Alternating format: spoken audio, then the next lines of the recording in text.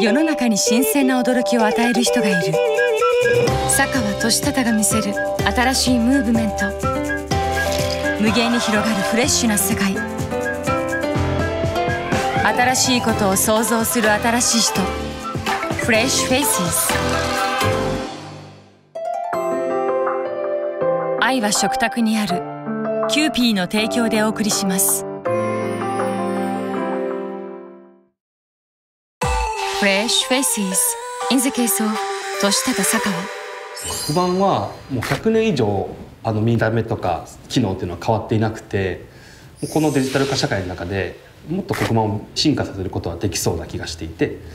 アナログの聴覚とデジタルの映像と組み合わせたハイブリッドにして使うことができる黒板というのを開発しました。老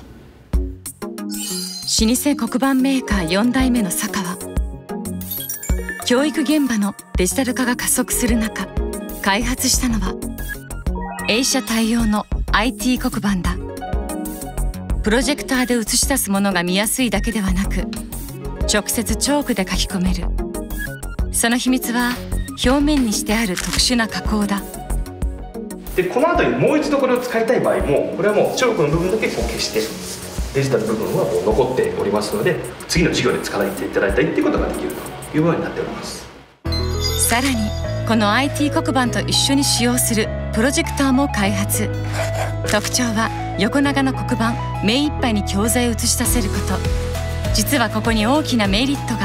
今まで板書してた時間それからまあ黒板に向き合っていた時間を生徒の方に体を向けて話をすることで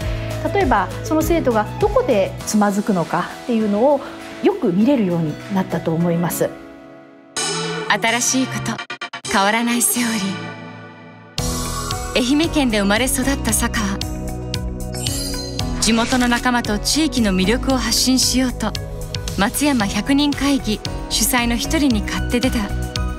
ただ自分たちさえ何か大きくなったらいいっていうだけじゃなくて町全体に我々が持ってるノウハウを少しでも還元できてなんかこう日本で一番面白い県になってほしいなっていうふうに思ってですねそういった活動をしたいなと思ってます。